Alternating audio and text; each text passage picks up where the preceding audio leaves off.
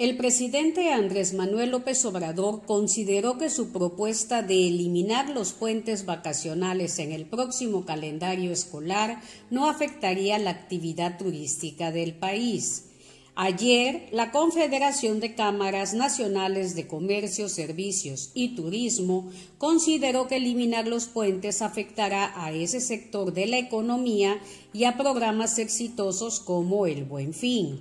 Esta mañana, al ser cuestionado en su conferencia sobre dichas opiniones, el tabasqueño dijo entender las molestias, pero defendió que su gobierno hace varias acciones en favor del turismo.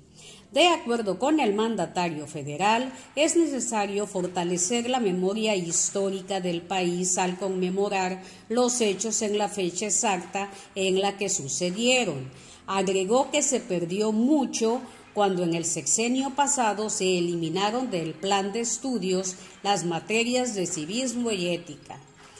Con un tono sarcástico, López Obrador comentó que nunca había tenido tanta oposición en las benditas redes sociales tras el anuncio de su iniciativa de eliminar los puentes.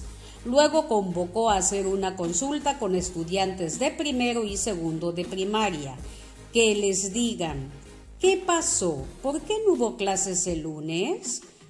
No saben. Todos van a decir puente. Bueno, aquí está lo que declaró el presidente López. Es muy extraño que yo lo diga, pero estoy totalmente de acuerdo con él.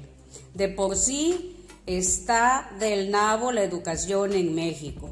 Y luego, que no se den los días realmente cívicos y que no se dé civismo en las escuelas, parece nada, pero todo eso forma parte de nuestra identidad nacional. Piénsenlo. Ok, esta es la nota, les agradezco muchísimo su atención, los invito a que se suscriban a mi canal y me regalen un like. Yo soy Charito Luz. Hasta la próxima.